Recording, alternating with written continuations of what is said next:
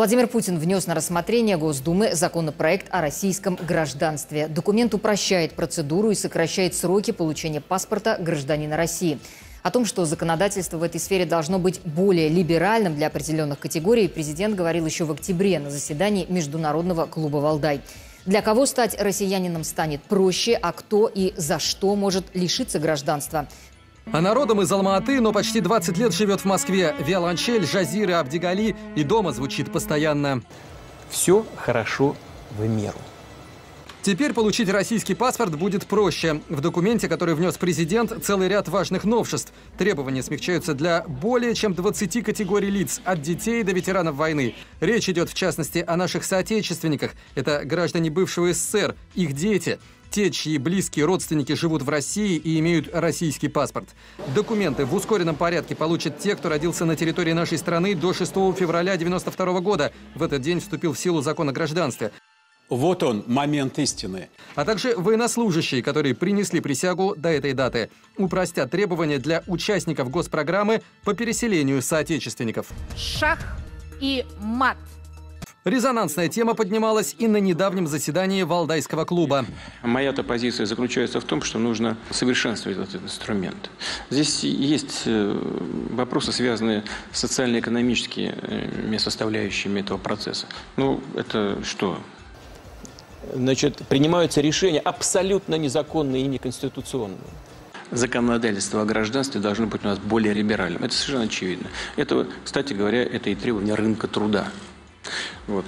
Так что мы думаем над этим. Каждый невнятный ответ администрации Байдена только разжигает аппетиты и увеличивает наглость э, кремлевской банды. Вы сослались на заявление Шойгу. Это историческое заявление, это уже наглейший классический гляевец, где просто издеваются. Да, мы вам врем, но вы все равно это проглотите.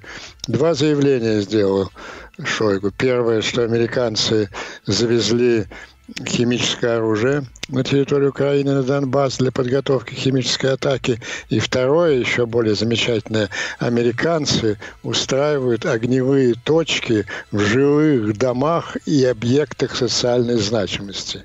Что означает это подлейшая формулировка.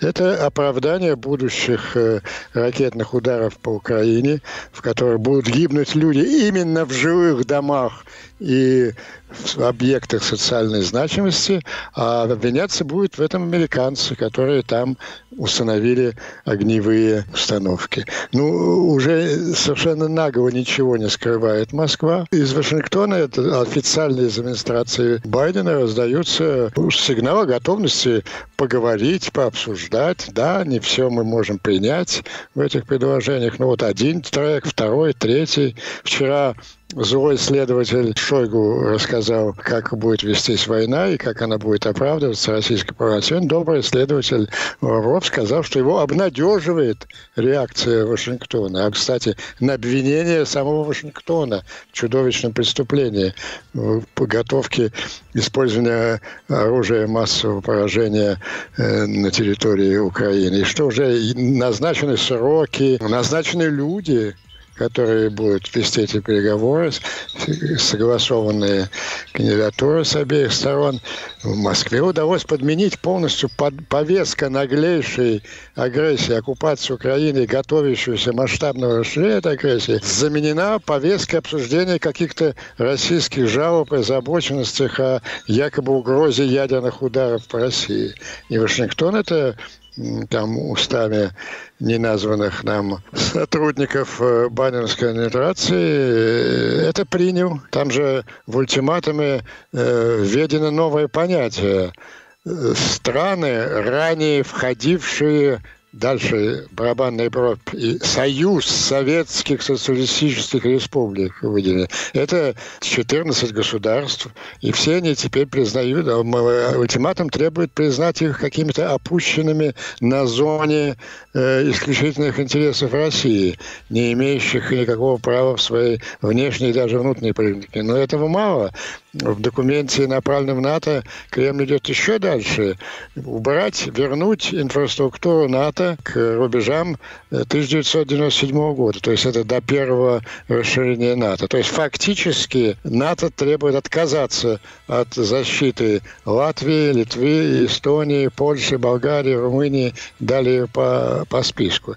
И вот что совершенно поразительно для меня, и что вызвало такой восторг и воодушевление в Кремле, его не послали куда подальше, а с ним собираются очень серьезно разговаривать и озабочить. Это линия Салливана. Ее не придерживается тот же Блинкин, который вчера выступил довольно резко, напомнив, что никогда Соединенные Штаты не признают никакую зону, новую Ялту, зону исключительных интересов. Но другие сотрудники администрации Байдена уже готовят переговоры по этому поводу.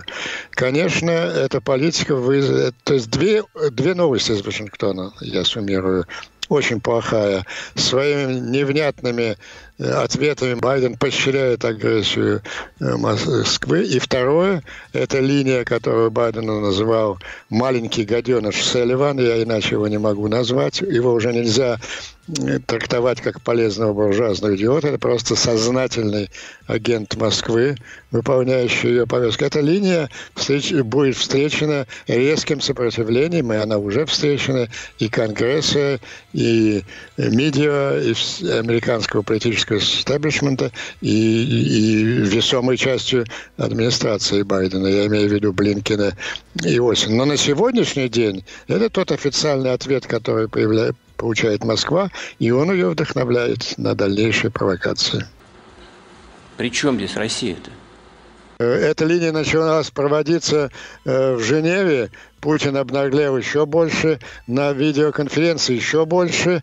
И мы дошли уже до предела. Но после того, как вас обвиняют в том, что, вас, я имею в виду американцев, что вы готовите химическую войну, уже бессмысленно продолжать ту же самую линию. Она приводит к обратным результатам. Ведь совершенно ясно, и Салливан тут сыграл зловещую роль. Ведь ясно, что, к чему Путин готовится. Его же военные те, тот же Герасимов, ему объяснили, что масштабное вторжение в глубь Украины – это катастрофа для России. Во-первых, прежде всего, э, сопротивление украинской армии, украинского общества будет яростным, и потери российских военнослужащих э, будут неприемлемыми для русского общества. И, во-вторых, формально американцы объявляли санкции. Так ему же этот, еще раз повторю, гаденыш Салливан подсказал. На своем, помните, на своем брифинге после он, он подчеркнул, что да, мы введем адские санкции после того, как будет совершено масштабное вторжение вглубь Украины. А пока, да, после того мы введем санкции и будем осуществлять поставки вооружений. А пока, извините, мы замораживаем. На следующий день была выключена статья 100 миллионов долларов из э, оборонного бюджета поставки вооружений. То есть Путину подсказали, ты давай делай, что хочешь, только то, чтобы это не было интерпретировано как масштабное вторжение в глубь Украины. И тогда мы не обязаны вводить адские санкции. Ну вот, э, поэтому вы же видите, все сейчас сконцентрируясь вокруг Донбасса. Вот эти химическое оружие. Вновь возобновилась вербовка этих так называемых э, добровольцев, э, освободителей. Вот всяких, всяких этих моторыл с э, автопомойка крайней России их снова вербует. То есть ясно, что Москва задумала. Она, у, а у нее действительно нет сегодня там сил для масштабной атаки и оккупации Украины. Будет провокация на Донбассе. Москва ответит на это силовыми акциями э, в Донбасском регионе, ну, может, каким-то движением э, в сторону Мариуполя и ракетными атаками вглубь Украины по инфраструктуре, э, по складам вооружений и так далее. Открытым текстом вам об этом всему миру говорят Шойгу и Лавров. Здесь все умные люди, все все прекрасно понимают.